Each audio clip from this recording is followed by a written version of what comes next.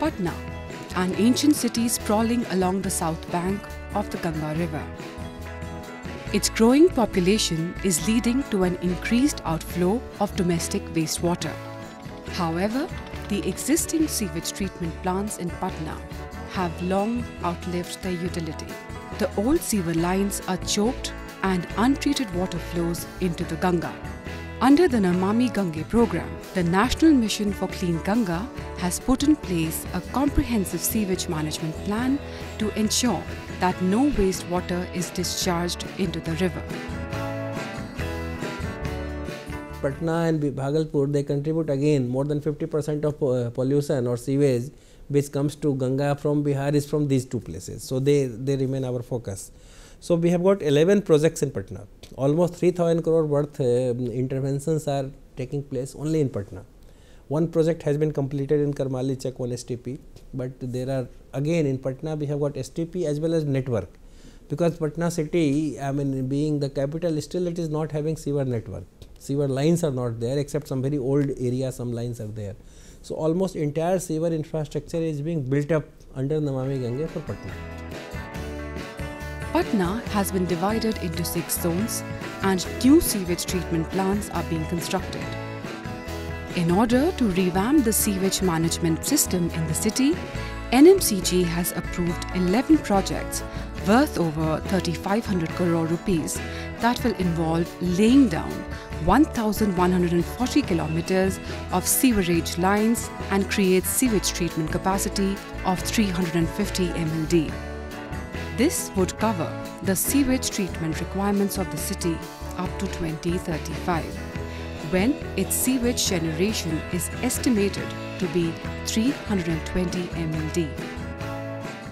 गंगा में किसी भी तरह का मलमूत्र किसी भी तरह के सीवरेज को नहीं जाना है पटना के शहर के किसी भी तरह का इसी के लिए हम लोग उनके बाथरूम और टॉयलेट के पानी को हाउस ये हाउस चैम्बर बना कर कर करके हम उसको लेते हैं मेन होल में और फिर वहाँ से ट्रंक लाइन और आपको मेन लाइन लेकर, कर कर करके हम उस जल को पहुँचाते हैं सीवरेज को पहुँचाते हैं आपको एसटीपी में और वहाँ पे एस बी आर के कर करके उसको रेक्टिफाई करते हैं और रेक्टिफाई करके फिर क्लोरिनेशन करते हैं।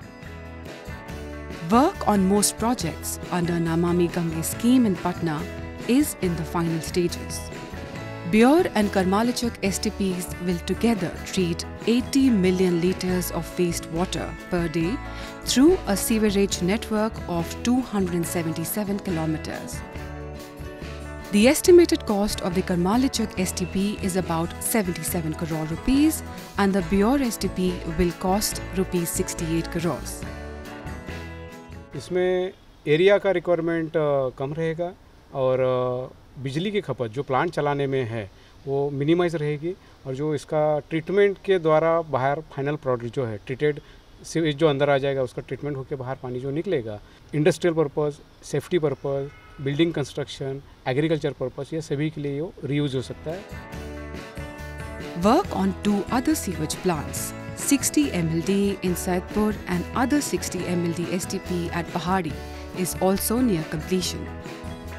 इस मेन इसका यूज़ यही है कि हमारा गंदा पानी गंगा नदी में नहीं जाए स्वच्छ पानी रहे और इस पानी को हम लोग ट्रीटेड करके एग्रीकल्चर इंडस्ट्रियल या पावर प्लांट में यूज़ करते हैं लेकर In Bihar, Namami Gange sewerage infrastructure projects have been sanctioned in 18 towns at a cost of over rupees 5000 crores.